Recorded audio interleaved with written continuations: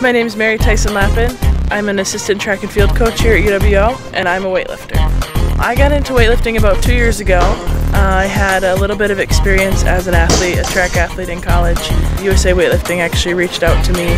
Someone had showed them my videos from lifting from college, and they were like, "Oh, you should probably be doing this."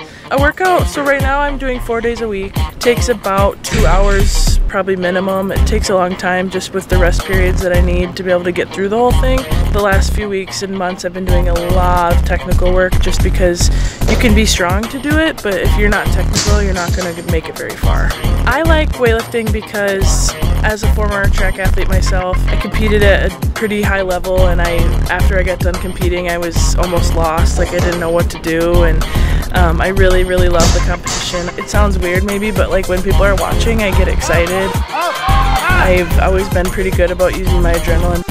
You can't replicate it and that's kind of why I love doing it too is the competition and the feelings you get. Like you can't replicate it in any other way.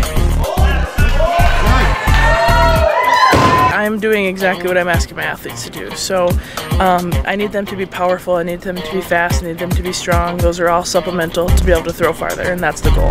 I think it's cool to set an example for them and for the guys to be able to see that's this is so cool like our our female coach is so strong that's so neat like and it's really neat for them to talk about it the way they do and not be like like upset that their girl coach is strong you know it's it's really really neat the way they talk about it I think it's also really great for the girls, the young women that I'm coaching to see that oh, it is cool to be strong as a female. Like it's some some girls have a really weird feeling about it. For me to be able to set an example that it's a neat thing to do as an as a female, I think that's really like, I'm just trying to set a good example for them.